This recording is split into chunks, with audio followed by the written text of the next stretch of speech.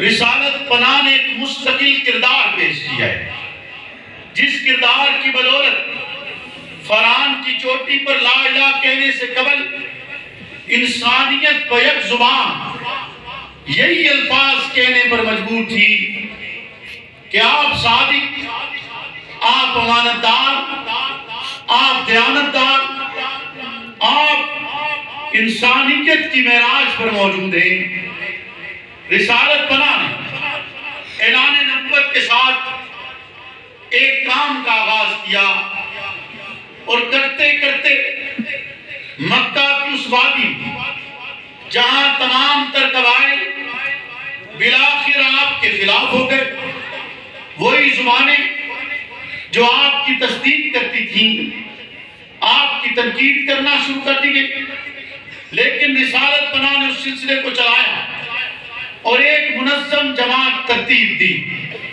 और अब्बल अब्बल तेरह सालों की मुद्दत तमाम तर तकालीफ को खुद भी बर्दाश्त किए और उनके कारकुनान ने भी बर्दाश्त किया लेकिन तमाम तर तकालीफ के बर्दाश्त करने के बाद बिलाखिर आपने हिजरत की है और ये भी बाज़ार खुद एक तकलीफ़ थी कि अगर समझा जाए, वतन छोड़ना पड़े कुंभा कबीला छोड़ना पड़े, जाए पदाइश छोड़नी पड़े घर बार छोड़ना पड़े, और छोड़कर एक नगर से दूसरे नगर। इंसान सफ़र कर ले तो ज़ाहिर सी बात है उसके लिए बहुत मुश्किल अमर है। लेकिन निशानत बना दीन मतीन के तहफ़ के लिए, दीन मतीन के इलाह के लिए, उसकी बका के लिए, हर एक कुर्बानी दी है। और किसी कुर्बानी से दरेज नहीं किया है। और नतीजतन आप समझते हैं, और आप बखूबी वाकिफ कि एक बेहतरीन निज़ाम इस कायनात में कायम हुआ। है जिस निज़ाम को निज़ाम खिलाफत रास्ता कहा जाता है, ये निज़ाम निज़ाम खिलाफत रास्ता। ये वो निज़ाम माज नहीं जिसे आज तक ये समझा जा रहा हो कि ये सिर्फ़ खुलफाए राशिदीन का निज़ाम है। हज़रत अबू बकर, हज़रत उमर, हज़रत उस्मान और हज़रत अली का निज़ाम है। ये वो निज़ाम है जो रिसालत पनाम की तरबियत के नतीजे में वजूद में आया है। ये वो निज़ाम है जो पैगंबर का अक्स है। ये वो निज़ाम है जिसे पैगंबर ने खुद तरतीब दिया है और इस तरह मिसाली बनाया कि जमाना आज तक अपनी कामयाबी अगर चाहता है और जो मुआशरे आज तक कामयाबी के रास्ते की तरफ़ काम चले, वो इसी बुनियाद पर काम चले कि वो निज़ाम आदल पर, निज़ाम सदाकत पर, निज़ाम दयानत की तरफ़ गाम चले और निज़ाम सदाकत, निज़ाम दयानत, निज़ाम आदल ये वही निज़ाम है जो निज़ाम खिलाफत रास्ता है। ये उसी के नतीजे में निकला हुआ है। लेकिन हर शख्स ने अपनी पसंद के मुताबिक उसमें से चीज़ों को इख्तियार किया, अपनाया और उसके नतीजे में कामयाबी हासिल करना शुरू की। रिसालत पना ने जो तरबियत दी, जिसके नतीजे में एक जमात तरतीब पाई, एक नजम बना, एक शक्ल बनी और फिर उस जमात ने चौसठ लाख मुरब्बा मील पर हुक्मरानी की और हुक्मरानी की मिसाल कायम की। ऐसी मिसाल कि रहती दुनिया तक उन्हें याद रखा जाएगा। तारीख में उनके नाम सुनहरे हरूफ से मौजूद हैं। उन्होंने जहाँ ये तरबियत और माहौल पैदा किया है तो उसकी बुनियादी वजह वो ईमान और अकीदा है, जो रिसालत बना ने उन्हें सिखलाए, जिसकी रिसालत बना ने उन्हें तरबियत दी है।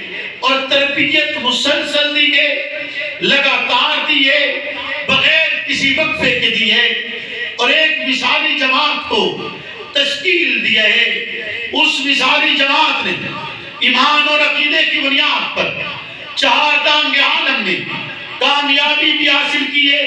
चार दांग आलम को निज़ाम भी दिया है। चार दांग आलम ने फतुहात भी हासिल किए लम्हाती तकसीम, लम्हाती शिकस्त को पसे पुश डालते हुए अगली फतह के रास्ते की तरफ़ कमर बस्ता हुए वो उस निज़ाम का हिस्सा थे, जिस निज़ाम के अंदर अगर इतला दिए बगैर हमला किया गया है तो वो सरहदों से वापस लौटे।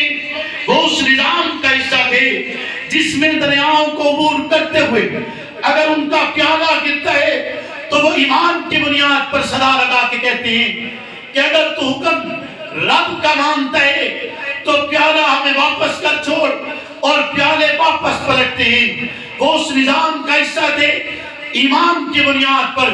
अगर वो जंगलों के दरिंदों से मुखातिब होते हैं तो जंगलों के दरिंदे अपनी दरिंदगी से रूह गिरदानी करते हुए रास्ता छोड़कर उनके लिए जंगल खाली कर छोड़ते हैं। उन्होंने एक निज़ाम मुरतब किया। ईमान की बुनियाद पर अकीदे की बुनियाद पर जिसकी तरबियत उम्मत मुस्लिमा को दी आज उम्मत मुस्लिमा, अगर तरक्की के रास्ते पर गामजन होना चाहती तो यकीनन उसके लिए ईमान एक बुनियादी चीज़ है। और ईमान में जहाँ मलाइका जन्नत और जहन्नुम का तस्वुर है, जहाँ पर ईमान में अंबिया सलाम की बेसत है, जहाँ पर ईमान में आसमानी कुतुब का तस्करा है, जहाँ पर ईमान में रिसालत बनाम की खत नबुत पर ईमान है, जहाँ पर ईमान में असहाब रसूल की सहाबियत का बयान करना है, जहाँ पर ईमान में हज़रत अबू बकर सिद्दीक की सहाबियत पर ईमान रखना है, जहाँ पर ईमान और अकीदा ये कि रिसालत बनाम की मेहनत माना भी जाए, तस्लीम भी किया जाए, उसकी तशरी भी की जाए, आपकी मदद और तोसीफ भी की जाए, वहीं पर ईमान का हिस्सा है। अच्छी और बुरी तकदीर का आना। अच्छी तकदीर, वो भी खालिक की तरफ़ से है, बुरा होना भी खालिक की तरफ़ से है। लेकिन आज, जिस मकाम पर मैं मौजूद हूँ